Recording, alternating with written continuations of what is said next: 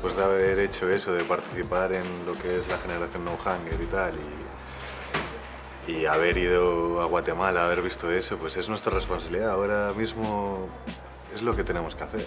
Y después de venir del viaje, la verdad es que sí, que cambias un poco el chip y es como que sabes que tienes que seguir luchando para que la cosa cambie, porque hay uno que sí que se puede cambiar.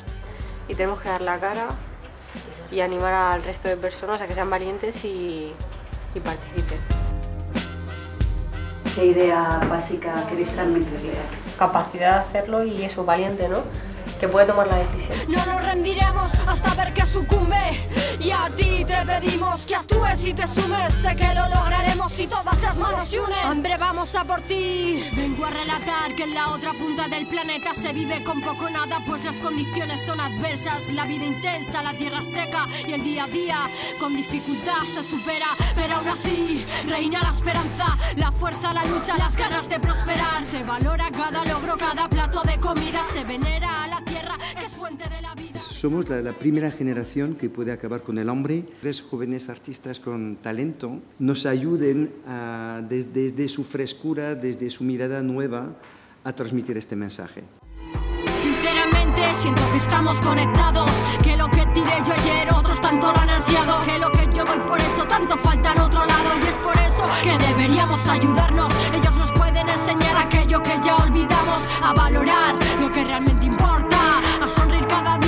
la vida es corta El tema del hambre ahora para mí es, está muy presente, claro. Estamos preparados Hay que señalarlo y decir que está ahí. Sí que se puede cambiar, aunque sea poco a poco, se puede ir cambiando. ahora ¿Por qué esperar más muertes? ¿Por qué con más demora? Si está en nuestras manos y ya va siendo hora ¿Qué ha significado para ti? Si nos unimos todos y, eh, y ponemos cada uno un poquito de nuestro granito de arena, sí que podemos cambiarlo aunque estemos lejos.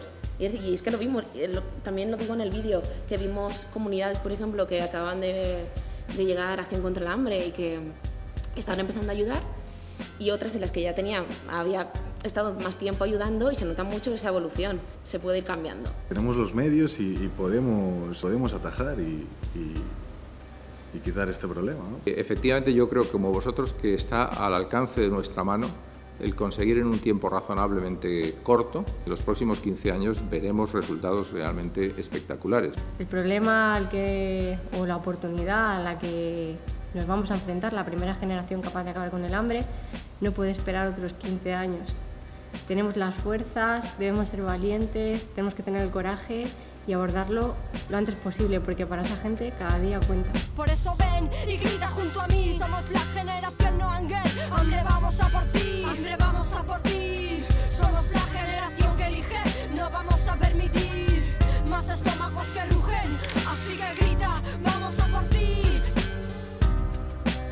Yo puedo decir que los políticos actuales estamos comprometidos. España acaba de celebrar su consulta nacional y hace unos meses la consulta de Naciones Unidas precisamente para comprometernos en la lucha contra el hambre y la desnutrición infantil en el mundo. Ah, hemos tenido una reunión muy interesante y muy productiva aquí para que trabajemos con los políticos, para que los cambios importantes y las medidas importantes se tomen.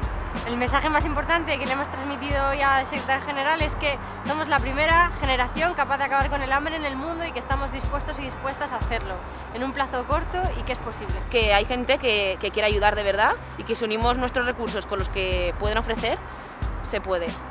Yo creo que sí, soy muy positivo y creo que sí. Y que con el trabajo de mis compañeras, de Acción contra el Hambre y de toda la comunidad internacional, espero que sí. Eres así Que esta situación